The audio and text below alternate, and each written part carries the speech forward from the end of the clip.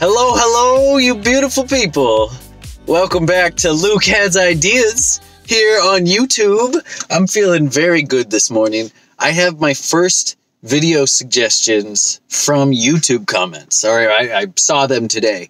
There was a comment in the past week and I've been kind of away from computers and from YouTube altogether, just planning out a wedding coming up and finishing up edits on this book. And so, sorry for any delays. Here's a video. It's so good to be back. I, I logged on today and I saw a comment, multiple comments from people asking for more content having to do with tinnitus. And Great. Let's talk about tinnitus. Um, ringing in your ears. No fun. Not the most fun thing to experience, but a lot of learning opportunities. You have a big chance to explore yourself, to explore uh, your ability to grow patience, to explore techniques of mental control over your thinking patterns and the way you're going to react to different things in your life. Um, you get a chance to go inward and examine who do you want to be? Who do you want to be as you go through your life and as things happen to you? There's many different ways to interpret having ringing ears and, and many different ways to react to it. Uh, trying to not get too woo woo on you or anything like that. But right now, you have a challenge. You have a challenge in front of you. And what that challenge is, is something's poking you in the side of the head constantly. You're always having some noise. And that sucks. But, like we just said, it's a chance to grow. It's a chance to learn how to deal with that. Maybe, like me, you've you've tried different methods to make it go away. Yeah, and I'll talk about things that have helped and things I'm trying and and let you know how that worked for me. But maybe on your journey you can't seem to find something that stops the ringing. Some people hear it as like a, a whirring whirl whir, you know, like a like a fan. They hear buzzing. Maybe they hear a mosquito. I don't know. I hear high pitched whines, kind of like a mosquito, and it's very annoying. So, bring in the focus. Let's talk tinnitus. You have to get a hold of some kind of inner patience. You have to find that because you'll drive yourself crazy otherwise. Nothing you do will stop this thing. There's no pleading with it. There's no days off. There's no breaks. It's it's a constant boot on your throat. But in this case it's a noise in your ears if you can get past the despair of that, if you can find some way to not give in to the hopelessness feeling of like, I, no matter what I do, it won't go away, then you have the opportunity to grow well beyond where you're at now. To try to stop tinnitus, I have been doing some extreme stuff. Extreme. Do you remember those back in the day? Like, extreme. uh, I don't remember what that was. If it was a commercial, a movie, a show, extreme was in everything as a word, as a title. And it just became kind of a meme before memes were memes. Um, so I've been doing some extreme testing of my limits and abilities to try and limit my tinnitus, to try and get rid of the ringing in my ears. Here are the results that I've come across that maybe they can help you. So uh, I've tried ice therapy. I've tried freezing myself, and the benefits of such have been amazing. So, all the way from like a cold shower to an ice bath to um, cryotherapy, I actually haven't tried. I'm just going to stick with my ice baths. A, they're fairly free uh, outside of like water and power costs. Um, and they, they're very cold. So, I, I think I'll stick with that method. Um, very helpful for circulation, for mood. Um, afterwards, I feel amazing. I feel incredibly focused. It helps me not only wake up if I take them in the morning, but it helps me go to sleep at night because your body's uh, temperature has to drop in order for you to fall asleep. When you're trying to go to bed, your body wants to get colder. You'll sleep a lot better. So if you freeze yourself before bed, sleep will be improved. Very helpful. As far as ringing in the ears, mild to no help. The ringing's still there, and you don't notice it. After you get out of an ice bath, you just feel good. You, you feel a boost to uh, your mental performance. You feel a boost physically. Feel a lot better. So you don't really notice that your ears are ringing. You just you feel good. It's a it's a boost to everything inside of you. So uh, I would highly recommend these to everyone, and regardless of if you have tinnitus or not. But as far as a cure for the ringing in your ears, I'm gonna give it a thumbs down. It's not curing it, but it'll make you feel better, which will increase your patience. which could buy you time to figure out ways to either cure your tinnitus or learn how to live with it. Uh, next, I've been doing sauna care, so go the other way. Now we're going way to the the heat side of things. Um, I do not know how hot the sauna is, and that was sauna care, not Sonicare, the toothbrushes. You know. So I don't know how hot the sauna is. It's here at the gym behind me. Um, very warm. You be crank it up. I like to go two notches from the very top because then I can stay in longer. Uh, I set a timer for 20 minutes, and when when the heat temperature is two notches from maximum, it's a very grueling 20 minutes. By by minute 15, you should feel like you need to leave the sauna or you're you're pretty sure you're going to start hyperventilating and die. It's you're you feel a panic coming on, so you have to remind yourself: deep breaths, everything's fine. Keep breathing. Go into your body. Let your energy really go into your body. Be aware of what's happening there. Realize that you're not as uncomfortable as you think you are keep breathing. And those last five minutes, they feel like they last forever. But when you come out after 20, it's the same thing as the ice baths. You feel so good. You feel like you had a crazy workout. Um, again, tinnitus cure? No, not a tinnitus cure. Damn. So thumbs down on that. But uh, it also helps with willpower and patience again, buying you more time to deal with your ringing ears. Um, let's see. Extreme cardio. Extreme cardio.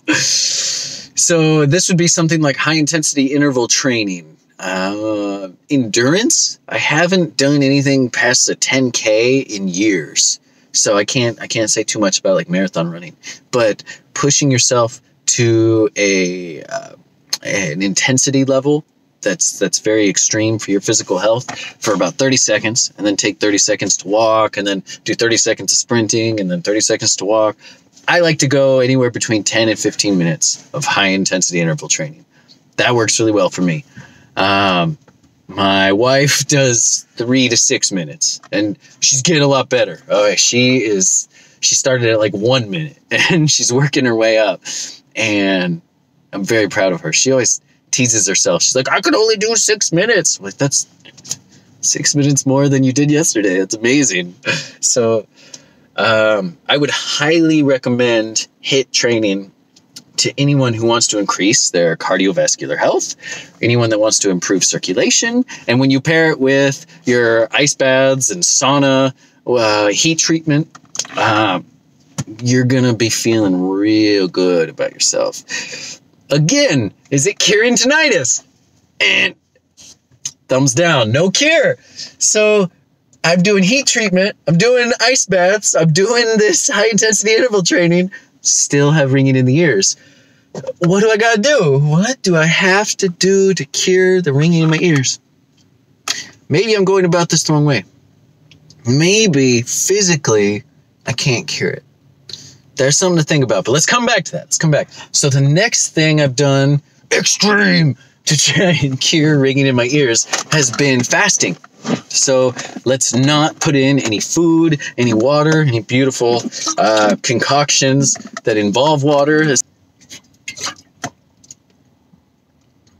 It's very tasty. So, um, fasting includes not eating, not drinking anything, whether you're doing a wet or a dry fast. Uh, I've experimented with that in the last month, learned a lot about myself, and you've seen some of the videos on that. Um, health benefits through the roof.